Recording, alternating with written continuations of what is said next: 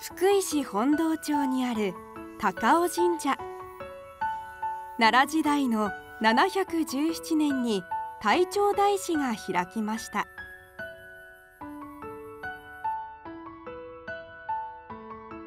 境内にあるのは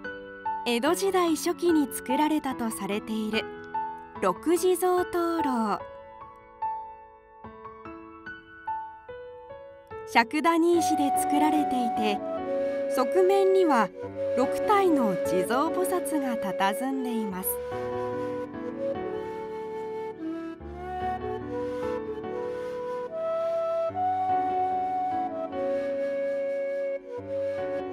人々をあの苦しみから救っていただくものとして言われを聞いております。それぞれ、えー、持ち物ですとか表情が微妙に異なっていてどの地蔵様も穏やかな表情かと思います。持っているのは仏具や数珠花など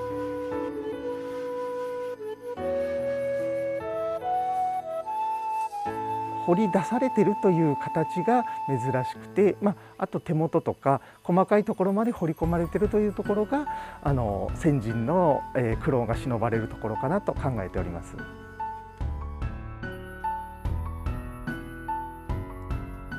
灯籠の基礎には蓮の花びらが彫られ竿は角を丸くするなど丁寧な作りになっています。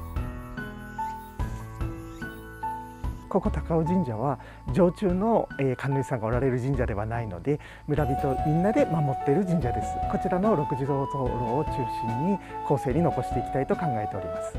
え毎日参詣にいただく方もおられましてそれだけあの人々の信仰だったり村人の思いがこもってるあの地蔵だと思いますので大事にしていきたいと考えております。